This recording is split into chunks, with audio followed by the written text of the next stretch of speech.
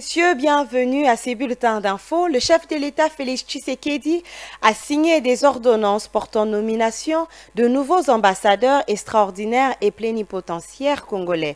Nous avons retenu les nouveaux ambassadeurs du Royaume-Uni de la Suisse dont les ordonnances ont été lues ce mercredi 9 novembre 2022. Images et commentaires. De nouveaux représentants diplomatiques congolais pour les chancelleries occidentales nommés le mercredi 9 novembre 2022 par le président de la République. On retient que le professeur Dolam Gokwei sera le nouvel ambassadeur extraordinaire et plénipotentiaire de la RDC auprès du Royaume-Uni. Le professeur Ngokwei était parmi les membres du panel qui composait la mandature de Félix Tshisekedi à la présidence de l'Union africaine dans le pilier concernant la santé. On note aussi que Maître Symphorien Mutombo Baka Fasenda a été nommé ambassadeur extraordinaire et plénipotentiaire de la RDC pour la Confédération des États suisses. C'est un rodé du sérail politique depuis l'époque du maréchal Mobutu jusqu'au régime des Kabila père et fils, qui refait surface sur la scène politique internationale. Avec ces nominations, Félix Tshisekedi reconstitue peu à peu la galerie de nos diplomates pour redorer notre image. Parlons politique, le parti politique Ensemble pour la République apporte tout son soutien aux forces armées de la République démocratique du Congo, FARDC, engagées dans le combat contre le rebelle du M23. Ce parti s'est exprimé à travers une déclaration politique signée par son président Moïse Katumbi. Dans une déclaration lue devant la presse par Olivier Kamitatou, directeur du cabinet de Moïse Katumbi, ce parti affirme que l'intégralité territoriale de la RDC ne peut être violée ou remise en question. Propos requis par M. Viningali Jr. Ensemble pour la République entend répondre à l'appel du chef de l'État dans le contexte de la guerre en cours dans l'Est du pays.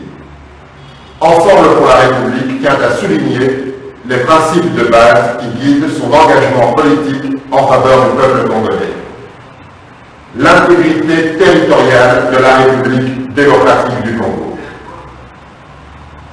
Elle ne peut être violée ou remise en question. L'unité et l'inviolabilité des frontières de notre pays sont des principes intangibles et non négociables. La légitimité du pouvoir relevant des élections et non du recours à la violence ou tout autre moyen arbitraire et inique. Le monopole de la détention des armes sur le territoire national relève des forces de défense et de sécurité étatiques. Aucun Congolais n'a le droit de prendre les armes, constituer des milices ou des groupes armés. Le Haut Conseil des Églises de Réveil, seule interface entre l'État et les Églises de Réveil selon l'arrêté du ministre de la Justice 2013, invite les différentes plateformes religieuses à une vision commune derrière les HCR RDC pour l'unité de l'Église de Réveil et soutenir justement les forces armées actualité oblige. Suivez. Créé en 2013 par les gouvernements de l'époque, les hauts conseils des églises de réveil du Congo, seul organe de régulation et d'interface des églises vis-à-vis de l'État, verrait vitaliser l'église de réveil du Congo. Après une assemblée générale tenue ces jours, les pères des églises ont passé en revue la crise qui traverse l'ERC. Le président en exercice de l'HCRDC, Godempoi, a pour sa part invité les différentes plateformes à une vision commune pour l'unité des églises de réveil. Les pères devaient revitaliser l'église qu'ils ont enfantée. Nous étions tous autour d'eux aujourd'hui avec certains leaders de la ville de Kinshasa pour qu'ils puissent eux-mêmes prendre en main leur propre église et la réorganiser. Nous sommes en quête de l'unité de l'église. Très modestement, et humblement, nous demandons à tous les papas, à toutes les mamans, à tous les frères et sœurs qui n'ont pas encore réintégré ces cadres, de venir nous rejoindre pour que nous puissions servir Dieu ensemble.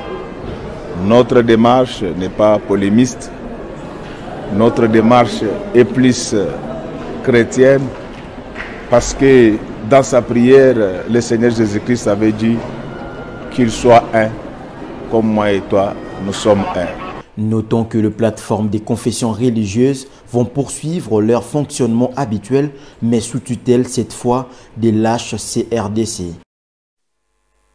L'insécurité bat son plein dans la ville de Kinshasa, au quartier Kinde, les communes de Mongafula.